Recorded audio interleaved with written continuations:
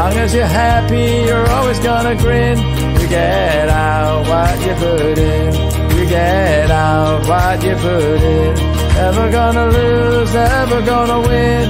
Long as you're happy, you're always gonna grin. You get out what you put in. You get out what you put in. You get out what you put in. Oh my goodness! It's Gary Jones again, mate. Oh, how, this is amazing! How the devil are you? You can download that song because that kicks ass. You, you, you do love that song, don't you? I do. So what what what? I need to, I need to get it out, don't I? I need I need a record producer or somebody like that that's yes. that's able to to help me. You do, um, you do, you do. So LinkedIn do, do or YouTube, stuff. Yeah, let us know. Absolutely. So that's what we need to be doing. Okay. So, uh, where's my lights at the back? There we. Anyway, Gary Jones, how the devil are you? Here we are, very good. fourth week in a row. Why do you keep coming on my show? Tell everybody a little bit about yourself. Well, thank you. So, for everyone who doesn't know me, um, my name is Gary Jones. I'm from Grow, and I help people launch podcasts. And over the last four, well, last three weeks, this is the fourth week me and Ashley have been talking about launching his new podcast, which this this is what it's leading up to. So if you haven't already covered sections one, two, and three, which is all about creating the idea, forming that kind of bad boy to make sure it's as good as it can be and robust as it can be, to marketing, to actually putting it all together, then check out the last three parts because it's been really cool. And yeah, today is the last bit. So I'm really sad. I've really enjoyed being live every week. Yeah, you were just saying to me. You were saying to me in the green room. we we call it the green room, don't we? Um, so um, in the green room, you've just been saying that you want to do a bit more live. So uh, yeah, we get, yeah. so so if anything, whether or not my podcast is a success, who cares? But Gary's going to do more live. So there you I go. Am. There you go. Um, any ideas for guests on your show? Oh, now that's a question. if only I could find someone. All right, okay. If you're stuck, I know a few people. I know a few people. I'm all over LinkedIn. I know lots of people. I know lots of lovely people actually. Um, so this is this has been amazing because we've, we're, we're doing loads of stuff. Um, uh, if you're listening on the podcast, I record it live.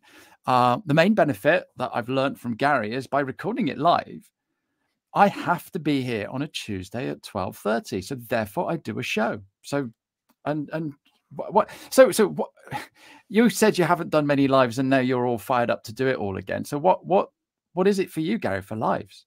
So the thing is most of the conversations that i have with people um go out pretty much as is. Um there's a, maybe a few little bits of editing but only tiny bits because i really do believe that a good podcast a good interview should just be two people chatting.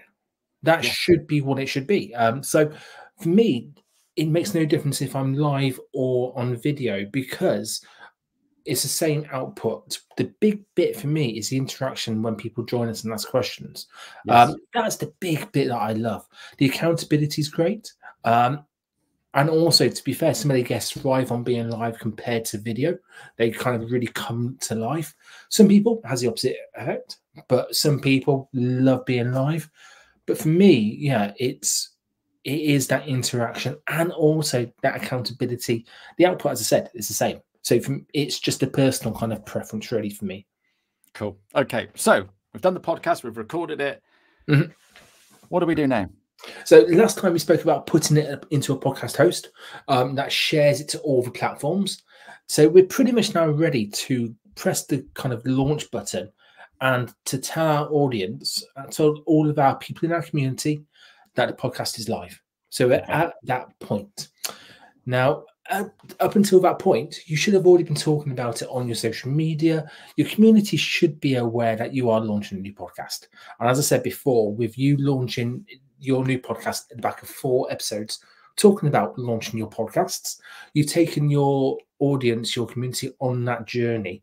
Yep. So they should kind of be expecting a change of format, a change of name, and all of that kind of good stuff. But some people leave it right to the last minute and okay. think once they've pressed the launch button, that's when they should start marketing it. But that will be the same principle as, let's say, a Marvel or DC film, literally doing no promo leading up to the film, and then literally the 200 million kind of pounds blockbuster launching at the cinema with no promo whatsoever. Guess Okay. what? Yeah, nobody's Nobody will know what it's about. Nobody will be prepared for it, be excited about it. It will be a drop. But Yeah. people use that analogy for their podcasts. So this is what we're talking about today is literally the marketing now of the podcast and also potentially what's next.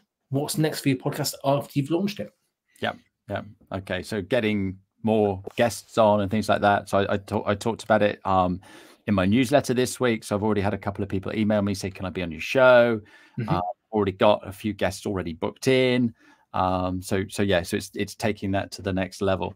Um, so there was a there was a question that I had for you. I am currently using Spotify for podcasters, which used to be Anchor. Mhm. Um, and I set that up as an anchor account. I cannot add any more podcasts to that. So at the moment, that is solely for this podcast. Yeah. Okay. Now, I may or may not be doing podcasts for other people. So I want something where I can do their podcast as well. So it goes so they have their own channel. Mhm. Um, and I want this to be a totally standalone podcast, don't I? Yeah, yeah. I think in terms of your strategy, if it fits into your strategy as a standalone, then yes, you do definitely. Um, and I think when it comes to managing other people's podcasts or being the host for other people's podcasts, it's easy if it's on the same platform. Again, it's all about making it easy in terms of spending the least amount of time or energy kind of on the process part of the podcast. So you can actually do the good stuff of interviewing people and talking to people and building those connections with the, community and the audience.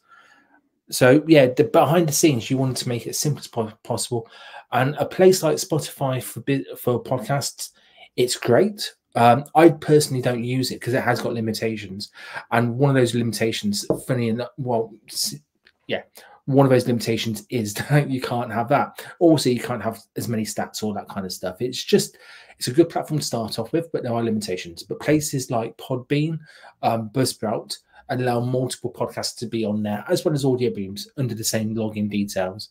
However, if you are l- managing other people's podcasts in terms of being the host and uploading and all that kind of stuff, you might want to consider setting these up under a separate email, but on the same platform. So they set up the actual um, place, the actual kind of the account itself, even if it's just you them sending you the using the email and the password, that kind of stuff so they've got full access to it. So if anything, so if they changed or they moved away from you, they've still got full access to that account. Oh, that's a great just, a little idea. Just a little kind of tip. Yeah. Okay. So so they have their own account, and but then yeah, whatever happens, they've still always got it. That's a great idea. Yeah. That's it. Yeah. Uh, it more just, trans- more- more trans- More tran- and more transparency. Exactly. You know, Yeah. it doesn't matter about if you see you've personally still got access to it, um, but it means that you, effectively you can just log in and upload the stuff, and they've still got all the back end stuff as well. Also, it gives them more accountability as well. If it's under your details and there, they're more likely they could at some point go, Do you know what? It's not working. But if it's all under their name, they're less likely to. Okay. So marketing then. Let's let's Mm. dig dig a little more in that. And uh, so so we, we get we get Pavel coming on and listening every every week. So hi Pavel. Um, so he he's he should be shouting out for us. So that's that's one stream of marketing. So existing existing people that are enjoying our stuff. Where else should we be marketing, Gary? Well, the thing is, you've got couple of different levels in terms of marketing, and I think about it in kind of circles. So, in your inner circle, these are your people who you talk to day in, day out. Um, these are your community on Facebook, on LinkedIn, on Instagram, wherever your online communities are. Could be the people who you meet and have a chat with at networking meetings if you're doing face to face. It could be your newsletter if you send it out every week. But these are people you're in regular contact with. Now, to get to those kind of people, they should already know at this point that you're launching a new podcast or you're changing your podcast because you would have put it, as you said, in your newsletter. You put it on your socials. You've done these kind of bits. So for them, now it's about giving them the tools to share it rather than just to know about it. So you want them to listen to it. You want them to ideally review and make give a comment. So it helps with the algorithm to know that so the platforms think, actually, yeah, people who interact with this, we might share it to a few more people, but also you want them to share it with them. So you want to tell them at this stage when it's going to be launched. You want to tell them where it's going to be. So it's going to be on YouTube, Spotify, um, Apple Podcast, Amazon Music, those kind of places. If you've already set up the podcast and you've already got those links and you've already got a profile because you've uploaded the trailer and you've set up those links, then share with them the link to say say, say to them at seven o'clock or eight o'clock in the morning on this day, it's going to go live. We're going big. Can you help me share it? And get them on board because again, you want to take them through that journey. So that's your inner circle and that then turns them from listeners, from just regular people to listeners, but also into supporters who are going to really shout about it. You've then got the next circle out, which is their kind of people and your extended network. So these could be the Facebook groups that you don't normally go into, or your LinkedIn groups that you tend to pop into once or a while. These could be people who you meet once a month or once every six months at different places. It might be worth sending them a message and saying, "Hey, launching this. It might be, you know, it would be great to, for you to be in a guest." um, just so they're kind of aware and it's on their radar.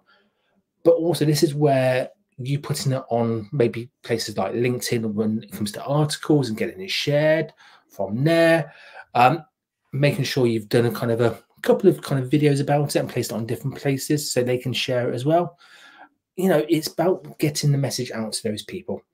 Um, the press release, you might want to do a press release and get it out to those people as well. But equally, a press release and the wider audience will come after that. And that's where that's where the press release to local papers or local kind of press contacts that might work if it is a proper niche podcast in a particular or a, a local podcast for or a particular area but get it out there, get it out there. But you want it to be on launch day. You want it to be on socials. You want it to be on your newsletter. You want it to be on your website. You want it to be in the press. You want it to be everywhere. You want it to. You want that spider web of connections. That spider web of. If you imagine you've got spider web, and each point on that spider web is your podcast, you just want to be, want to be spreading, spreading, spreading. But then you also want people to be interacting with it. So yeah. at the point of launch, there's no such thing as overkill you shout about it and you get other people to shout about it at the same time. Brilliant, brilliant. So, what I need to do is wear a Superman costume or something like that, so that I can do, all the marketing like like DC do. Um, or just wear your yellow t-shirt and wear my yellow t-shirt. Yeah, absolutely. Be as many places as possible. Also, if you are in face-to-face places like your LinkedIn kind of workshops and networking events and all that kind of stuff, you t- talk about it then. If you can stand up and talk about it in your 60 seconds or 40 seconds, tell people about it, do it. Yeah, and that, that's that's the thing, isn't it? It's like, oh yeah, I was there the other week. Why didn't I mention I've got a new podcast coming out? Oh, silly me, silly me. Uh, do you know what? How many how many chats have you had to people who have said that in the past to you? Oh yeah, absolutely, absolutely. And and you know, as a LinkedIn specialist, um, I I get to speak to all kinds of people, and yeah, we're not sharing enough stuff, are we? We think we are, but we, we really need to share a little bit more. So my post tomorrow is going to be all about what we talked about today. Yeah. I'm telling everybody yeah. all about my new podcast that's coming very yeah. soon. And you'll need to share the graphics that you've kind of created about that, you know, tell people and again take them on that journey. That's what that's what everybody needs to do. Yeah, absolutely. Okay, so um, I'm going to start telling everybody else about it. So, what else are we doing to make sure that people hear my podcast? So, as well as hearing people, you want people to keep listening to your podcast. Yep. After a while, so it's not just a good enough for them to listen to it once. You want them to become, you want your podcast to become part of their regular listening habit. And typically, people listen to between six or eight podcasts on a rotation. Now, some might fit in, some might fit out, but there's normally six to eight that people tend to listen to on a regular basis or having their kind of Spotify or Apple Podcast library that gets updated. Yeah, that makes sense. So you want your podcast to be in those bits. Okay. Um, so you want to, as well as telling people about it, you want it to be enriching that community inside it. Now you can do that by setting up a private community. You can set it up, um, and that could be a private LinkedIn group, Facebook group, whatever it is, talking about that particular thing. You could set up a Patreon, which then allows people to get maybe exclusive content from you. It could be questions and answer sessions. They could give pe- give you um, ideas about what content they want to kind of share. Hell, you know, your new show is all about answering people's problems on LinkedIn. They could literally send you questions, and you could do a solo episode of talking about their problems that they've had. Yep. Good idea. You know, Good idea. It's all about getting them involved with your podcast. So when they listen to the podcast, they might hear their name or they might hear someone else's question that they've seen on that group. It's about linking the two together. And the real good podcasts have got a real good community behind them. Now, that might have been what they had before, or they might have made that community as time goes on. The fact is that they're engaging with their community both in the podcast and outside of the podcast as well. That's a great idea. So I have a uh, LinkedIn page already uh, with people that have been on my workshop before. So these are people that know me, uh, like me, and trust me, paid me money, and they know a little bit about LinkedIn as well. So uh, it's time to re-energize that and make that the podcast page, isn't it? That's it. And how, yeah. as a LinkedIn person yourself, how would you energize that LinkedIn page? Start putting loads of posts in there, give it some new graphics, um, and yeah, start doing some more stuff in there. So yeah, absolutely. I, I know a little bit about creating content, so that'll be easy.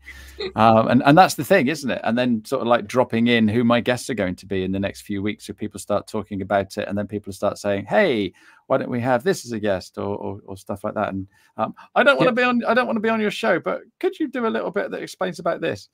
So uh, yeah, absolutely. You regardless of their kind of level of confidence when it comes to podcasting, you're allowing your audience to kind of get their and get their questions answered. Yeah. And in terms of your guess about what's coming up, let's go back to the Marvel DC film analogy. You kind of know who the characters are before the film gets released. Yeah. So yeah. therefore, actually, when it comes to guests on your podcast, tell people about it. Tell them that you've got this person coming up in this week's um, episode, like you do already, but maybe in a couple of months, a couple of kind of the next four guests are these and we talk about these topics. We don't want to leave all the marketing to when the, the episode's out. That should just be the final push over the line. This is where you listen to it. They should already know a bit about it. No, perfect. Okay, so we've got a community. We've done loads of marketing. What else do we need to do, Gary? So, what we could do at this stage as well is think about what's going to be happening next for the podcast. Um, and what I mean by this is that you've got a podcast, you've got this gorgeous bit of content, you've got a community which is really engaged with you. But what else can you do with that content? What else can you do with that community? And this is going to depend, this is going to be different to pretty much every podcast because their community, their audience could be slightly different. Um, but with someone like yourself who is good at interviewing people, you know, you've taken you already do lives. So you've already got that kind of level do you go one step further and do you potentially do a face-to-face live event where you actually talk to people and interview them on stage somewhere? Whoa would really? you do that? Could you elevate it to that level? Could you turn some of these um, some of these interviews into stories and publish a book with a collection of them? You've already got one kick-ass book which you can see in the background for the people watching on youtube. You know could you actually do one around a podcast? Could you do a collection of how the 20 minutes behind the profile or 15 minutes behind the profile. You know 15 people 15 minutes behind the profile. You know you, you could see it kind of working. And you've got a smiley face to tell me that actually this isn't the first time you've heard this or had this idea. Am i right or am i wrong? Um yeah you're right. You're right. And, and, and this is the thing is is i've got 200 over 200 episodes where i've spoken to people uh, and they're just up there in the ether doing nothing. So i could be getting a va to go in get it all transcribed, pick out the best bits, and write a book. There you go. Wow. That's it. So, e- so also, easy to write a book, isn't it? oh, it's so easy to say you're going to write a book. It's yeah, absolutely, it's a thousand times harder.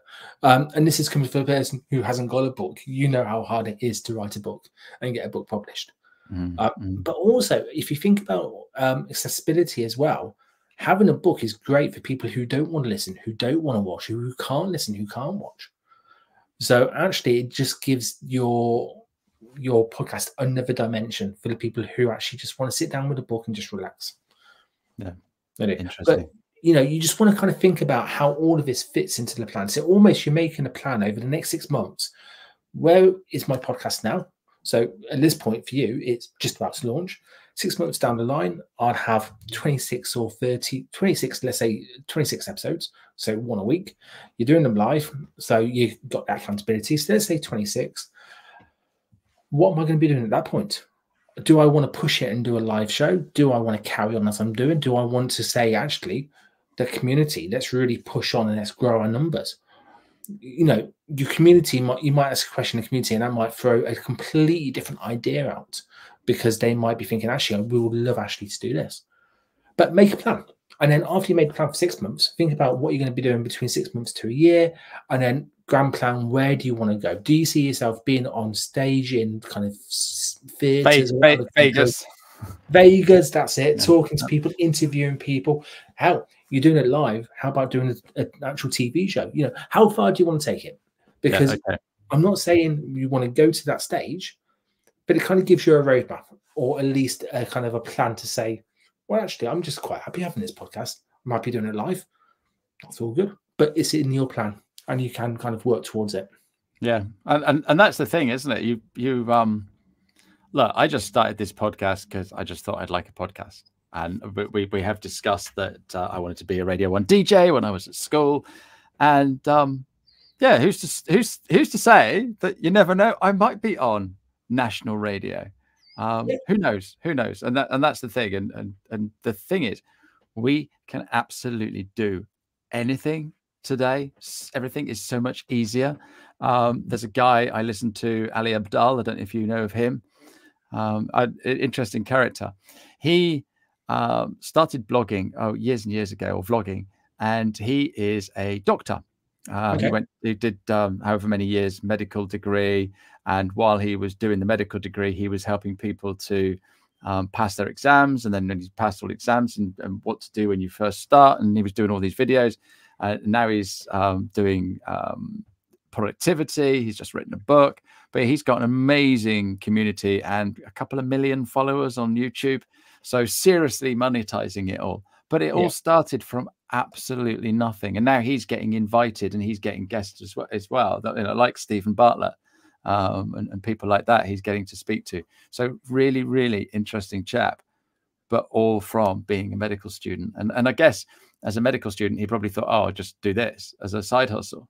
Nowhere in his wildest dreams did he ever think he'd become Ali Abdaal. Um, and, and, and that's the thing, isn't it?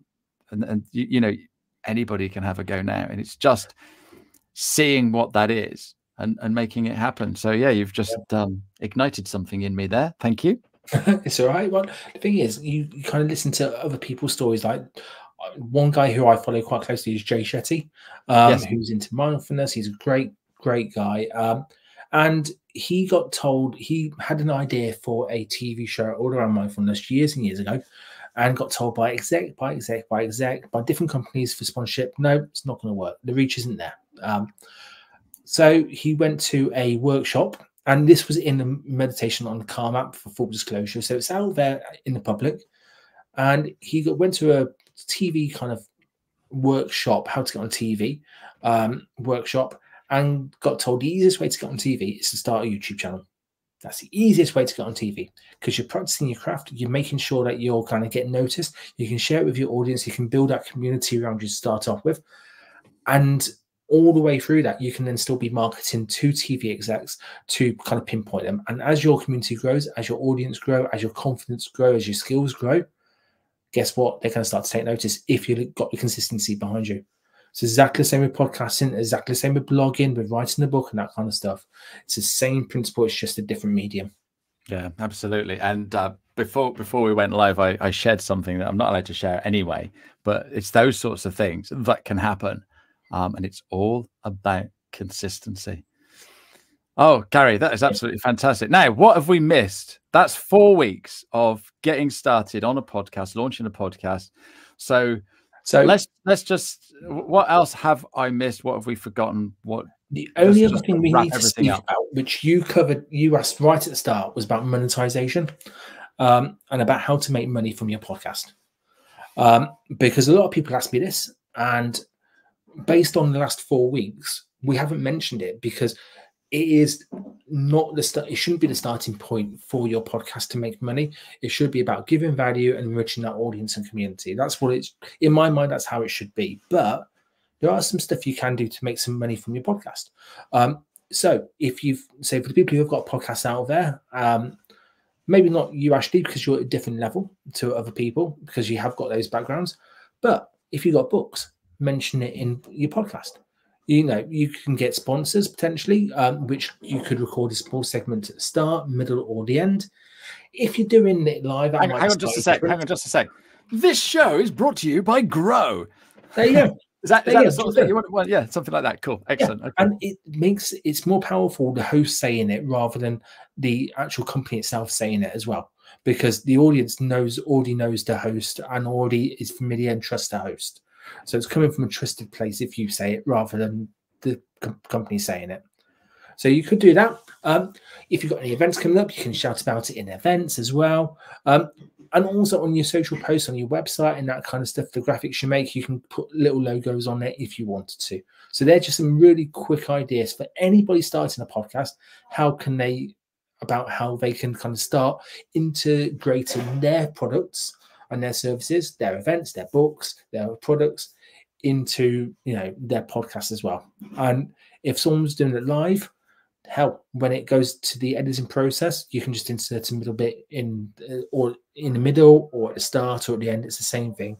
Um, and even if you're live, you can always play a quick video after the countdown section of the sponsor's message if you wanted to. It's yeah, up to you. Yeah. No, perfect, perfect. Um, great question from Pavel. I love that.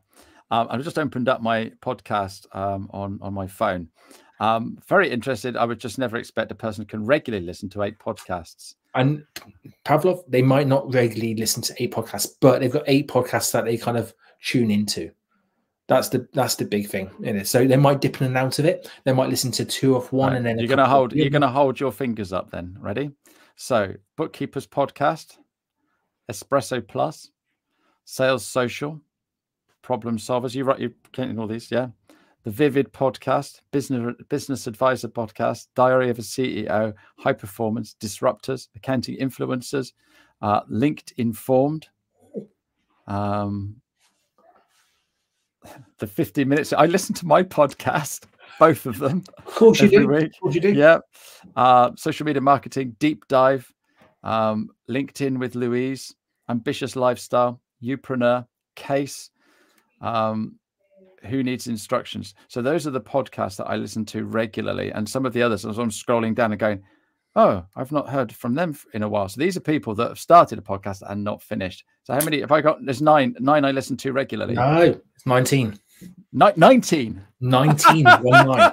One nine. Wow am i mad. No, because as long as you have time to listen to them and podcasts is enriching your life, I don't think that's a bad thing at all. You're, you're getting all these multiple sources of information about different topics. That's not bad. It's the same as watching nine, having watching 19 different programs on TV. Yeah.